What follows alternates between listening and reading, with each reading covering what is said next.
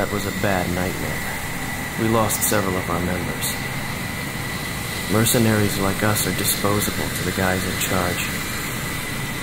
But in the end, we survived.